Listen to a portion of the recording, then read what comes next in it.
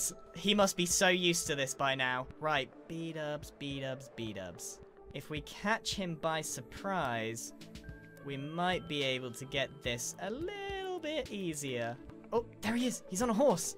I can't get him when he's on the horse. I might accidentally get the horse. Know that I'm here, but it is almost nighttime. And if it's almost nighttime, that means he's going to be camping his bed.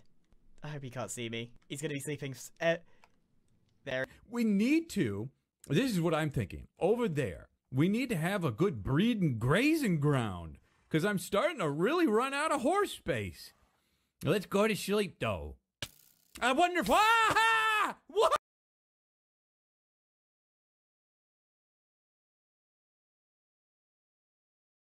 He's gonna be sleeping. Any second now. Any second. It's so predictable. So predictable. Okay, here we go. This is gonna be one, two. there we go. We got it. We got it. Right, we just need to go and pick up his face. Bada bing, bada boom. We picked up a bunch of things that we didn't need.